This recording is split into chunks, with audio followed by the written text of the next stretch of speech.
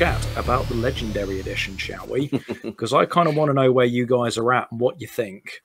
So let's go with Allen first, because he's our less enthusiast, shall we say? He's basically our newbie, isn't he? Uh, well, I mean, Yeah. uh, you say less enthusiast. I mean, at the end of the day, I, I, I love a good RPG, and it, it, it, it's you know, it's it's Dragon Age, but in space, isn't it? I mean, Yes. ultimately, it's it's, Yes, it it's the same game. Um, and I, I love Star Trek and Star Wars, so you know, it kind of is up my alley. The only reason that I haven't played all of them is because I just kind of fell out and then never got back into it. And originally, Mm. when it was originally out, um, but I did play number one, and I played it two through twice uh, to get two different endings um, back in the day, uh, but never finished number two. First impressions, I'd have to say, the rose tinted glasses and nostalgia cards are, are very heavy with this one. Um, yes. So that's very Uh, fair. Never. yeah, Not I at think, all. I think that is a fair assumption, but that doesn't mean to say that it does. You know, you, you, you it, they haven't made some really good improvements. I mean, graphically, it's still yes, in places it's it's very very pretty, but the character models and animations are are still not great. Uh, You know, they're they're they're, they're okay, but and they've obviously been improved, but compared to what we now see these days, it's still you know you can still see it's an old game with old animations and stuff like that um, and the way the voice, the act, the mouths move. I think we can actually see it on screen now. Yeah. Um, Yeah. But but you know, all of that aside, that doesn't matter because I've always been one of those people that's been like, well, it's not about the graphics. For me, it's about the gameplay and and how much fun I get out of it. You know, I mean, Chris is just Mm. talking about playing a game where he's a cloud. I'm sure that it was uh, 4K ray tracing, Ultra HD with that game. Um, but yeah, yeah, yeah, of course, yeah, absolutely. yeah, yeah, exactly. Yeah, exactly. I love to see a very pretty game. I really, really do. I mean, you know, I love to see uh, a Witcher on max performance when it came out, Witcher Three Wild Hunt. I love to see, you know, uh, some of the new games come out and they're just like the gra- you turn it on and the graphics just like, oh wow, that is just amazing. But if there's no gameplay there, then it's pointless. And one of the things I always enjoyed about Mass Effect was the story, um, and that hasn't changed as far as I can tell. Um, it still seems to be exactly the same story. Admit I'm only a couple of hours in. The a problem is for me is that my experience wasn't great. The first Okay. mission, literally the first mission where you go to Eden Prime and you touch down and you fight the Geth all the way to the train station, basically to get onto the train. I encountered two bugs in that first mission and they were both bad bugs and they really really ruined my experience and i have to say i do not recall there ever being any bugs with the first game at all ever There are, but None. they're they're, I yeah, certainly certainly you, the one. any. Yeah, one Yeah. you've seen is completely new to me, but there's definitely some Yeah. that are that are you know So definitely there. what, I mean, the what first was the one- bugs you encountered? yeah yeah, what were so they? the first one was i was i was fighting my you know when you're fighting along with the geth hiding behind the chairs on this platform and Yeah. you're working towards Yep. the train all of a sudden the sound on everything except the music just disappeared Yeah. Were you the playing music with kept- headphones? no Okay, because there mm. is an issue I with deliberately, I know, aware and I read about that, so I deliberately didn't play with headphones. I would normally with a game that's got this big grand, you know, all the music and playing and mm-hmm. the scenes and everything. I usually would play with headphones because I'd want that, you know, I'd want to be in the action and really listening to it with my new fantastic Microsoft headphones. But I didn't on this occasion because I'd read the, the the the blurb about it being there being some issues. So I thought I'll just I won't I don't want to complicate the issue. I Yeah. will just play through the TV. And just in the middle of this firefight, all of a sudden, every other piece of uh, uh, audio just disappeared, apart from the music. And I'm firing, and I'm just like, you can't hear anything. And it's really, really disconcerting. I mean, again, it's not game breaking, but it's really weird when you're playing and your guns aren't making a noise or you can't hear them shooting at you. It really, it's amazing. You, you don't Yeah. really think about it on a day to day basis how much audio impacts how you play and how much you enjoy what you play. Because if it's not there, it's just, it, there's nothing. It's Mhm. soulless. Yeah, it creates the atmosphere, gone. doesn't it? It does. It does. So I'm, I'm fighting my way down, and then I'm thinking, oh, I'm going to have to start the whole blooming mission again. If this doesn't kick back in, I'm going to. And I've I've literally fought my way all the way to the end. So I really don't want to have to do the first mission again. If I don't, uh, you know, start from the beginning again. Uh, but just as I got to the end of the platform and killed the last Geth, it came back on again, and I was like, okay. And then I didn't Right. experience it again. So it was just that particular section. It just no sound. I, So I that have was to say, I, I was going to say, I actually wanted to say, talk to you about this. I know we talked about it. I actually, on hindsight, have had that bug happen on the 360. So I think that's a legacy bug, but it's quite a rare one. But the other one you've seen, that I have no idea Yeah. about, mate. So Yeah, the, other, one, it's it, it- it's comic. It would be comical. It's it hilarious to watch. with a video, but it is not hilarious to play. Okay, so Ashley, and we know all how everybody loves Ashley. I don't mind her; she's all right. But everybody hates Ashley, especially Chris. And, and it's like my, my wife hates Ashley as well. She's played Mass Effect. She, she's like in the scene where you get to kill her off. She's like, "Yeah, Ashley, you're going down." Spoilers. She hates- yeah. Anyway, the fact of the matter is, statute that of I'm limitations is up on that one, mate. yeah, I think so. You literally walk around a corner, and all of a sudden, she's popping up inside of my head, and it's like she's stuck to my right foot. So, and I can't, I can't direct her. So, like Kaidan, I can use the whole go over here, but Ashley, I can't. So she's literally stuck to my right hand side. So every time I move a bit to the right, she's bobbing up and down in front of my face, and I can't, I can't see where I'm going, and I'm trying to fire, and it won't let me fire because Ashley is in front of me, and she's like bobbing, and it's like it, it's it's it's hilarious. To, like I said, it really ruined my experience. We had the whole thing that. where I had to disarm the four bombs and kill the big squad of Geth that were there, and I was just, I was hating it. I was like, get, get out of the, I can't, I can't get, I cannot complete this mission, and I did get it done eventually. But uh, and after that, I was a bit like, well, you know, actually, I'm going to go away and play something else for a while, and I haven't actually gone back, and I will. But it was not a pleasant experience. I, I'm actually at the Citadel and I've wandered around there, but I haven't gone and done any more missions. I've just been wandering around talking to people. But it, it was kind of like that was my first mission, and that was the experience. Two major bugs in the first mission was not a good experience for me, sadly. But overall, I'm not dis- dismissing the game just because of that. It's just a shame. It's a real shame that that was my experience. Um, but I fully intend, as I said before, and I'll keep everybody updated. I, I fully intend to play it all the way through. I am obsessed at the moment with catching crabs and hitting trees and killing sharks with Deep.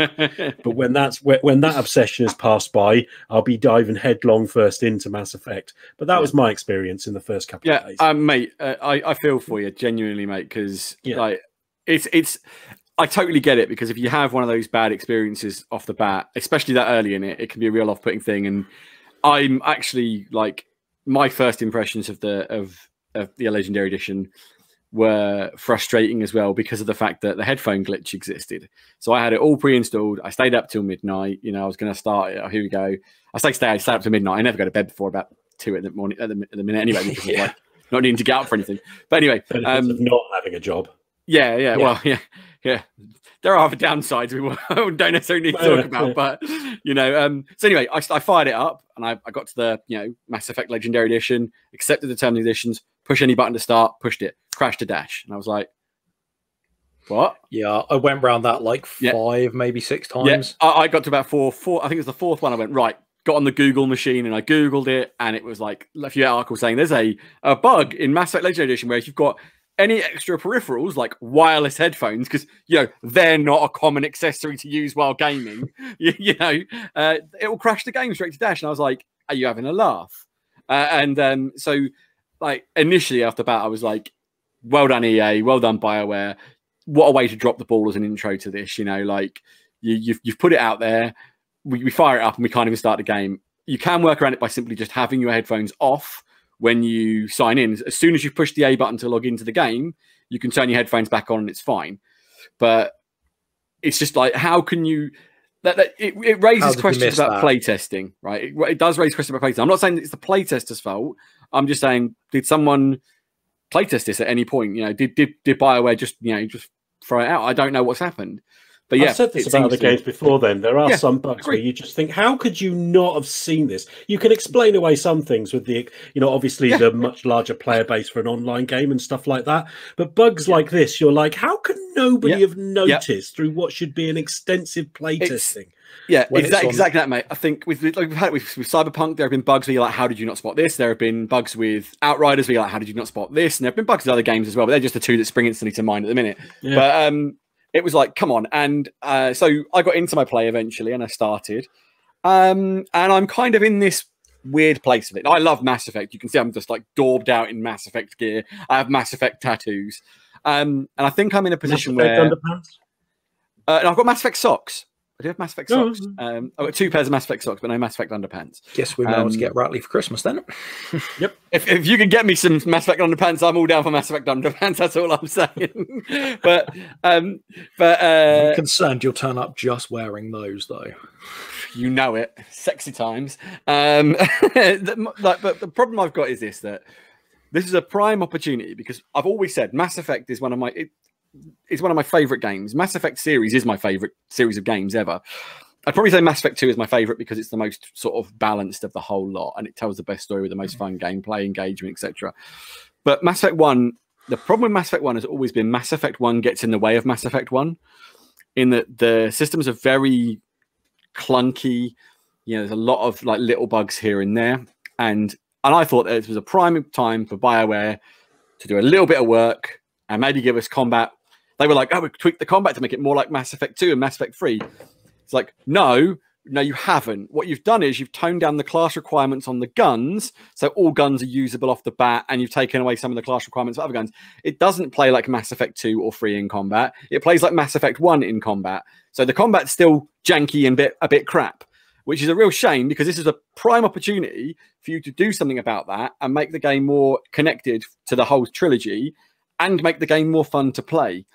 Um, yeah, they said like, oh, we've tweaked the Mako control, so the Mako's more controllable. Yes, it Oh, is. we've given but you not Jane really. Shep- the same Jane Shepard.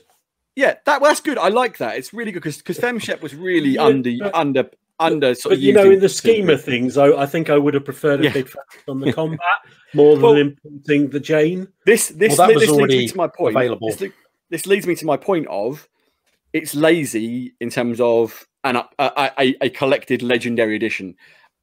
I I think it looks very pretty at points, and there's some very cool stuff they've done with the graphics, and I'm very happy that. Whilst yes, the character models are very janky, like you say, Allen. Like there's some very like lips going on. You know, it doesn't really have that movement, which improves in two and three again.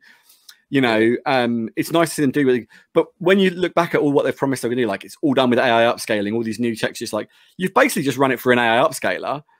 Um, you've changed the HUD a little bit and you've changed and, and removed a few of these bits and pieces, but you've done no real substantive work, it feels like, on the game. And that's disappointing for me. I mean, I, again, I'm not saying it's bad and I'm not saying don't play it.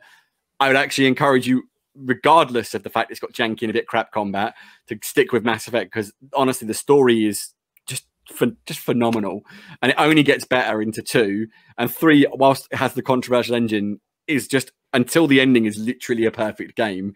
You know, it's so good. It brought me to tears on three occasions in that game. You know, like it's um, and uh, it's it's it's it's stunningly good, but that can't disguise the fact that this edition has problems. And like Allen says, there's bugs. And I had a bug, which I know is a bug from the 360, which still persists, which is I was on the Mars mission, or the, the, the moon mission, the, the Rogue VI.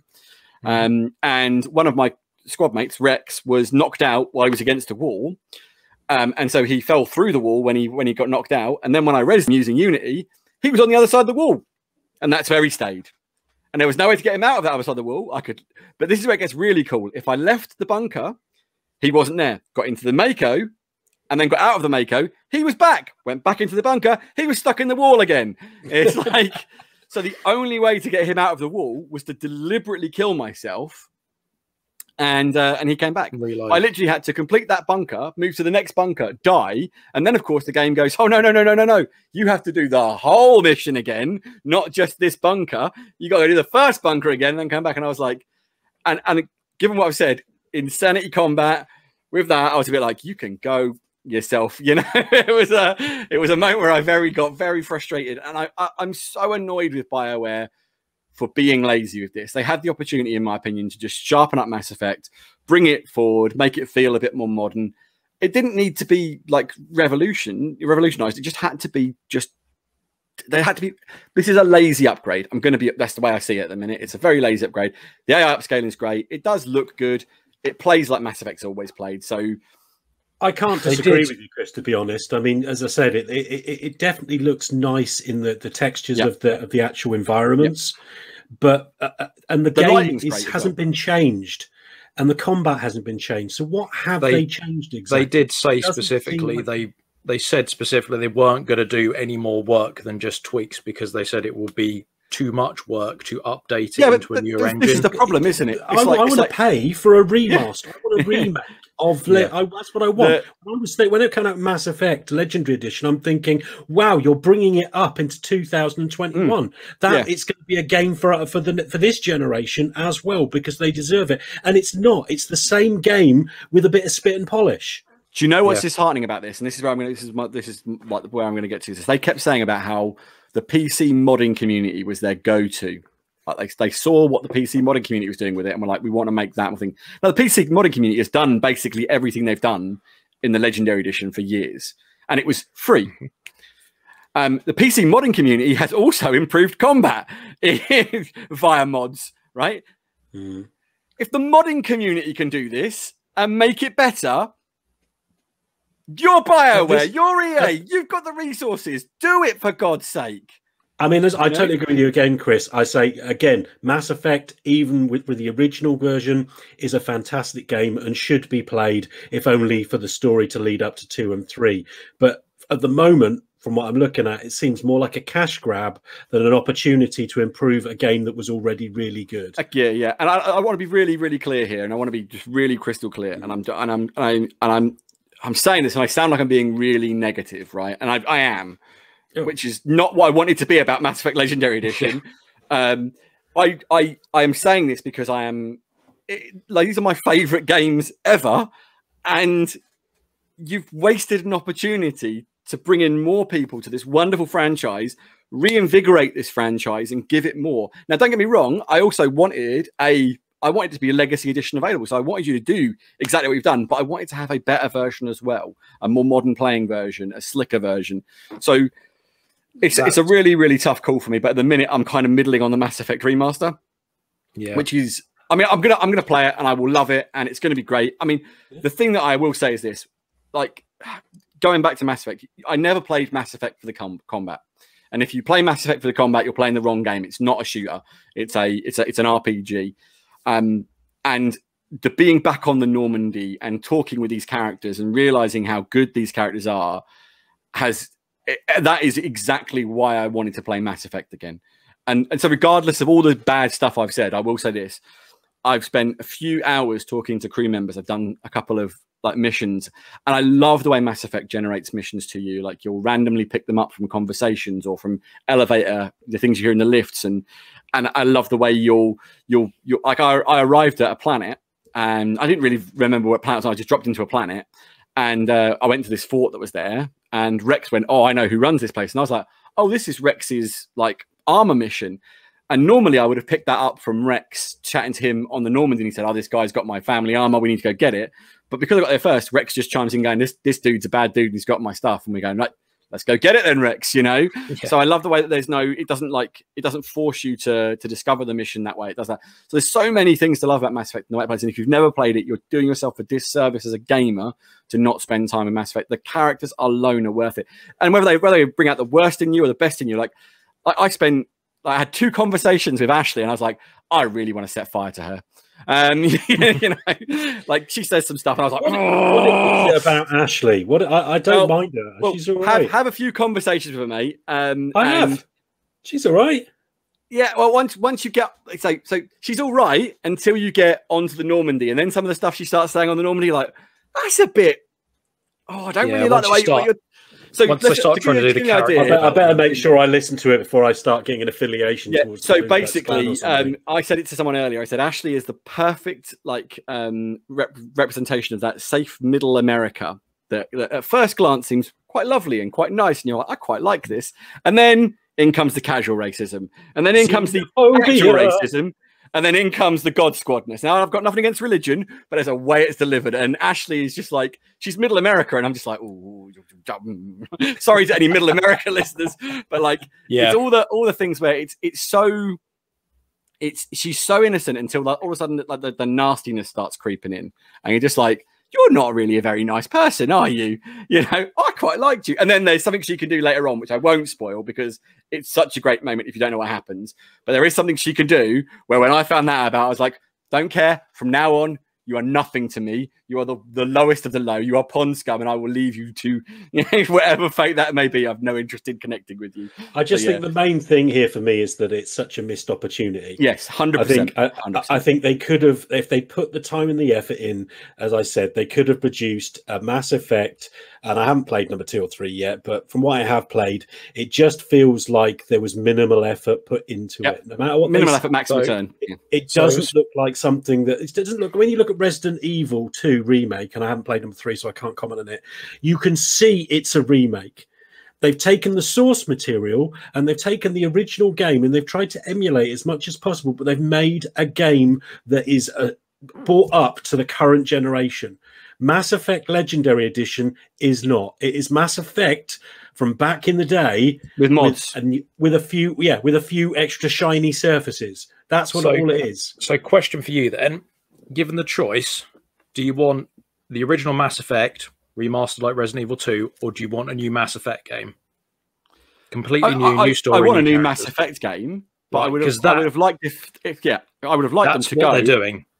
Yeah, I know that they was one of the things they said. They said we can either remaster the original Mass Effect as a new game, but it's time, resources, money. It's sold as a, a premium game, or we do a new game. that. And It's, they're I- I doing the new game why, though. I don't see why it's a choice. Like that, you know, like I, I- I know that it's all like, about the only- time frame and the money on return, isn't it? And It, that's it's all what it about. EA basically going. We, we don't want to spend Yeah. any more money on it. We'll go to a cash grab, is what it is, and that's the exactly sad fact of the that, matter is. that goes back to And- my whole cashback yeah. like, uh, the legendary And- edition. If they if, if if it's not a question of having to choose all of us are already saying if they remade mass effect the original Mm. game as they did with Resident Evil 2 yeah with whole new you know uh, everything completely brand new but the same the same game yeah Mhm. then i would buy it i'd pay 40 50 60 quid for it because 100%. that's what it should have been in my 100%. opinion I would have bought one yes, game. i for 60 also want One a new game. mass effect game Mm. please give me both i want both thank this- you very much Uh, that, that, that, that- on that point, Phil, and I'm not going to I'm not going to labour this. We don't want to go on too much longer. We've already spoken Yeah, way too to much on this this. short now.